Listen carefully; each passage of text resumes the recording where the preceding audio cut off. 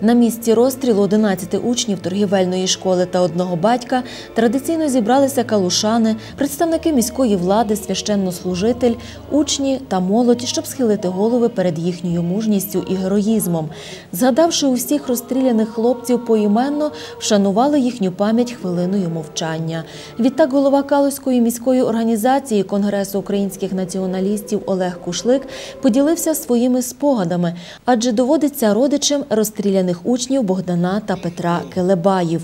Сьогодні ми говоримо про те, що версії які, що німця там вбили в Вістовій, ще- ще, ну, очевидно, напевно, істинної версії ніхто не знає.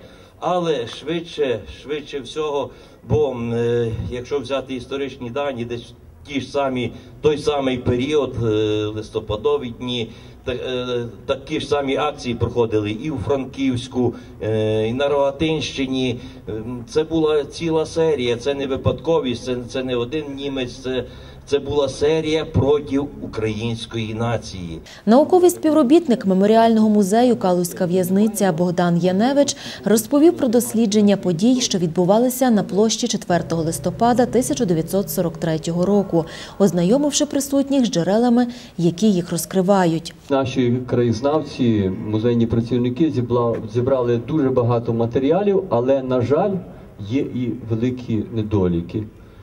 Ну, це, наприклад, те, що, як ми виявили у свідченнях, що було декотрі свідки кажуть, що 12, декотрі 13 учнів, дехто каже про 18. Є свідчення, що навіть було 100 юнаків. На жаль, ми не зуміли е, до, е, дослідити до кінця цю тематику. Учнів торгівельної школи катували і вбили за те, що вони були українцями і прагнули жити у самостійній незалежній державі. І сьогодні їхній шлях жертовності продовжують кращі сини України, воюючи на сході.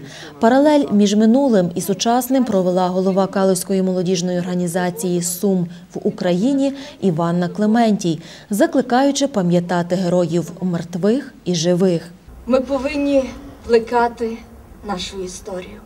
Ми повинні єднатися у боротьбі, йти вперед тільки до перемоги. Адже наші солдати теперішні, вони виборюють нашу незалежність для того, щоб ми з вами ходили по вільній українській землі. І над нами було вільне, мирне і ясне українське небо. За упокійну молитву за душі невинно вбитих молодих хлопців прочитав священнослужитель Римокатолицької парафії отець Роман Стадник. Відтак з повчальними словами звернувся до молоді. Старші нам показують, який є шлях до незалежності.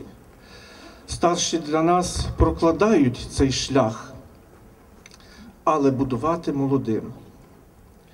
І ці учні, студенти, які були невинно розстріляні, вони були тими, тим початком молодої держави України.